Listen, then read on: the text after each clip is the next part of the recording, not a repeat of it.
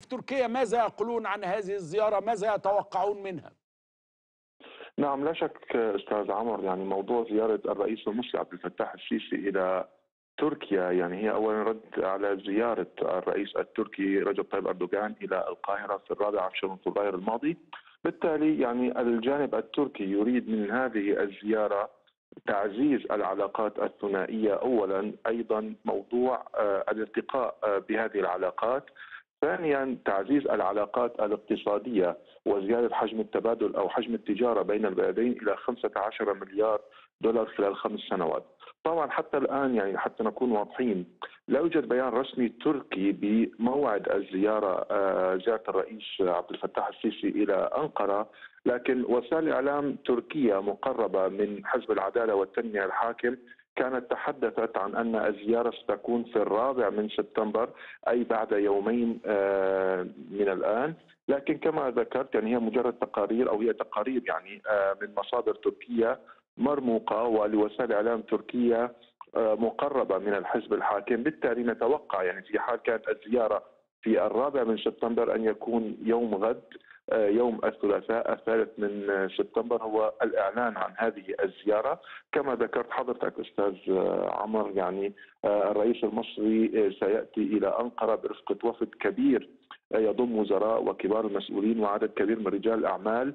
سيترأس هو والرئيس التركي اجتماعات مجلس التعاون الاستراتيجي رفيعة المستوى أو رفيع المستوى الذي سينعقد في أنقرة على هامش الزيارة.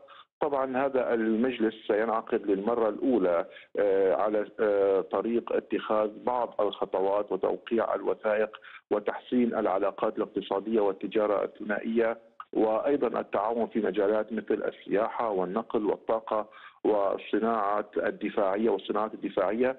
كل هذا الموضوع يعني هذه الترتيبات لا شك أن وزير الخارجية التركي حكام فيدان ناقشها مع المسؤولين المصريين ومع الرئيس السيسي عندما زار مصر في مطلع أو بداية أغسطس الماضي.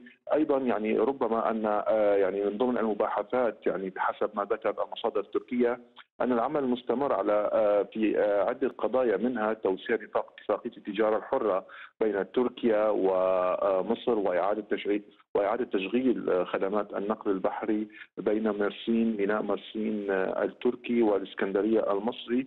يعني لا شك أن هذه الزيارة يعني كما ذكرت حضرتك بعد سنوات كبيرة من أو سنوات طويلة من القطيعة لها دلالات هامة لها دلالات رمزية تكتسب أهمية كبيرة سواء لدى الجانب التركي أو حتى الجانب المصري يعني. كما كانت زيارة الرئيس التركي إلى القاهرة. في فبراير الماضي.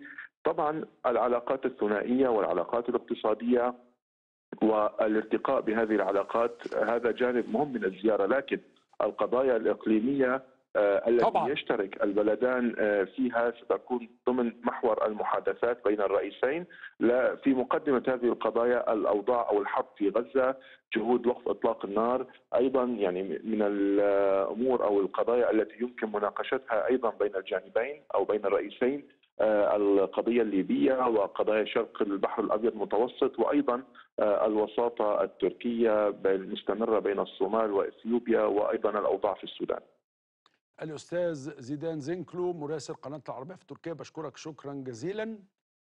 وبعيدا عن الملف